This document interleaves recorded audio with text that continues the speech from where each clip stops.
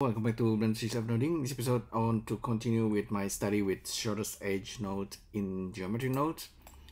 So somebody out there might already figure figure out how to use this um, shortest edges um, node, but I'm trying to figure this out uh, myself. Uh, this is the setup I got so far. So we have three different objects here Suzanne head, box, and the, uh, the torus. And each one of them have the seed value that I can randomize. So let me try to give a breakdown of what's going on. So first of all, each one of them is turned into some kind of volume. And I like, I really quite like this uh, triangulated uh, result for each of, of the objects. So I turn it into uh, mesh volume. And then I merge by distance so each one of them is triangulated. Um, yeah and the next thing I did was to use the the curve edge path to curve uh, node here. And this guy is also getting this help from shortest edge path and trying to get the shortest path. Okay, sometimes they're kind of failing. It's it's depending on the end vertex. So it, this node has a lot of things going on. So sometimes I don't quite understand it. Um, but let's take a look. So, okay, as you can see here, if we are using the index and we compare it with a value. So it's kind of like picking uh, one index value. We can sort of give uh, the starting vertices. And then from that index it's gonna try to find uh, the path uh, that is shortest and turning it into a curve. Okay. Um, and we can actually control um, the edge cost so I think this is something you need to play around with. I think you can get like super long path or really short one. So it, it's almost like a like a like a tree roots or branching and it's, it's trying to find the shortest or the longest path.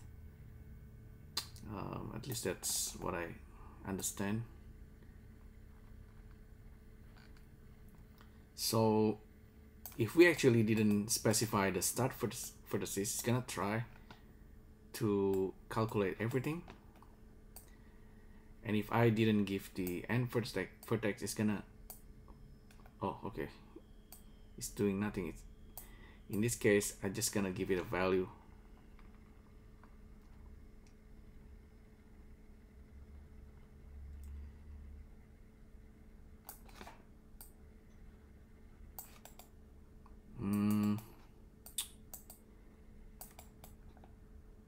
maybe for the start for the CC if I just plug it in so it's it's easier to understand if we actually use um, equal. So using integer and then equal to a value as I scrub over this mesh. So each mesh have different uh, index and number of vertices. Maybe some, sometimes it goes over so we don't have any result but we can pick a starting index if we want to. Otherwise we just let it runs on every vertices or every index. And then we can kind of get the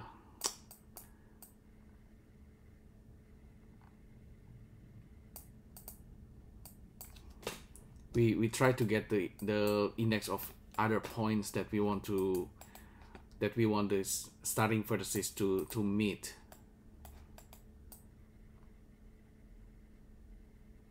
Okay so yeah as a result we're gonna get curves and multiple curves. In this case I have uh, I have processed the curve um, in such a way so we can clearly see what's going on. So there's a there's a starting index and then the curve will end will end up somewhere and based on the total cost it's gonna try to calculate the shortest path. Um, I have this trimmer trimmer curve so we can animate the curve based on the factor and length. Maybe for now we just have it like that. Um, and then I also have this set curve radius so we can control the radius. You can actually animate this as well. So based on the spline factor between 0 and 1 it's gonna try to influence the the radius of the of the curve along this mesh.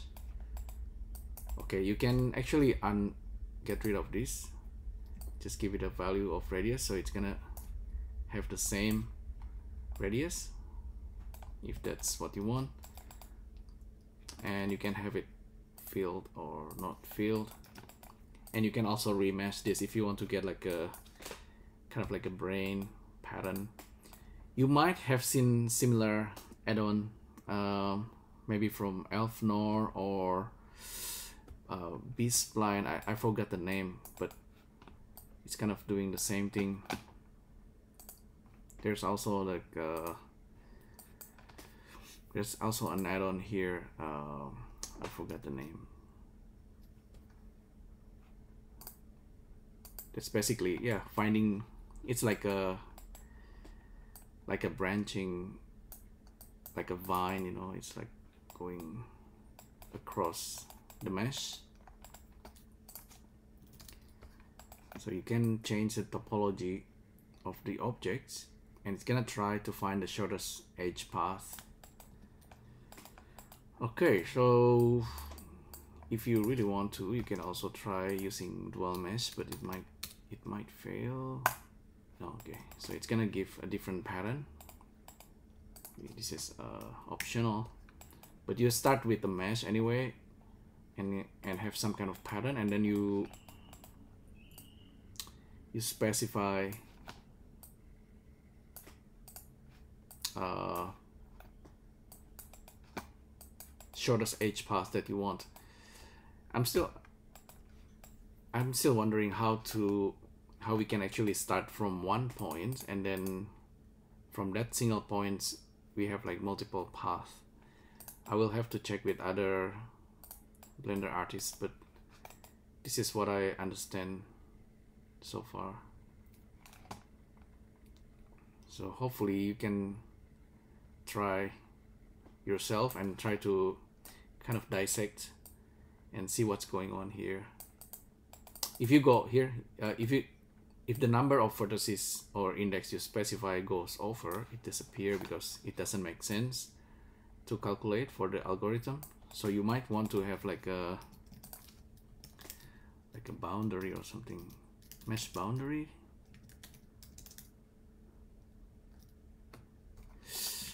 I sometimes I forget the name there's one of this that one of the utilities that can find the boundary or the the largest number of vertices. So you, you might want to plug that in here. So it definitely needs some kind of end vertices. And the starting vertices it's optional you can use uh, less than or equal. So it's gonna try to in this case it's gonna try using the index that's less than this value and then compare it with index that's greater than this value and then try to connect the two based on this cost the cost of the the path from one point to another and it's doing everything all at once. Um, anyhow that's pretty much how I understand it. Maybe in the next video I'll talk about this again and we find another use of this edge path to curve. I think if you check on Twitter there's a celestial maze. Um, I think he or she did a setup that's taking advantage of this shortest edge path and yeah there's a really cool result that looks like a like a mimics characters all right so anyway thanks again for tuning in and i'll see you next time. Thank you. Bye